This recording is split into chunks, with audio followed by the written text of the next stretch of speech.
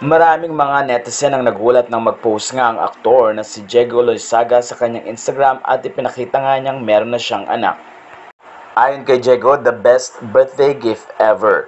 Ilan naman sa mga kaibigan niyang artista ang nagbigay ng congratulatory messages ay sina Colleen Garcia, Sunshine Cruz, pati na rin si Billy Crawford at si Dominic Roque at si Rufa Gutierrez.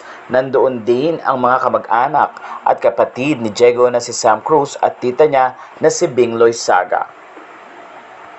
Excited naman ang ina ni Diego Loizaga na si Teresa at sinabi nga niya, Yahoo, Glam Mama Lola in the house. Love you anak Diego Loizaga, I love you my Pochola. Sa puntong ito ay nag-iisip ang mga netizen kung sino daw kaya ang ina ng anak ni Diego Loizaga dahil hindi naman niya ito ipinakita sa social media.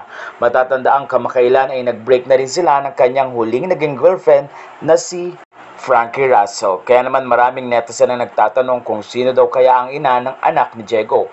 Ilang mga conversation naman ang ipinakita ni Zian Gaza at sinabing okay na sila ni Diego. Sa nasabing convo ay humingi ng dispensa si Zian Gaza sa mga nagawa niya kay Diego. Pero ayon kay Diego ay wala naman na sa kanya yon kaya naman nagbigay din ng congratulatory message si Sian Gasa. Aminado din si Sian na kilala niya kung sino ang babaeng ina ng anak ni Diego Loizaga.